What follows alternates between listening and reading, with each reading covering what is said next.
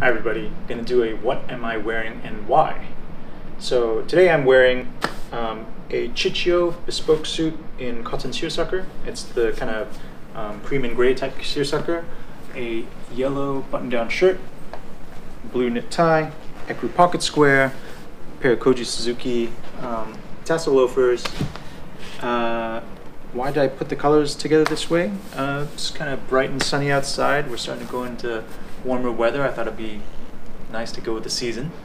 Um, and also, uh, I had a request from a viewer on how do you wear yellow shirts. So I wanted to get into that a little bit as part of this video too. Yellow shirts are actually really hard to wear uh, because it's hard to find the right yellow in the first place. So generally speaking, the paler the yellow, the better. The more dark or saturated or neon it becomes, the more difficult it is to pair with other things and to pair with even your own skin tone. Um, for me, the best one I found is the Carlo Riva one because it's not only is it very pale, like it's kind of yellower than ecru, but not like a true yellow, um, but also over time fades in a really nice way too.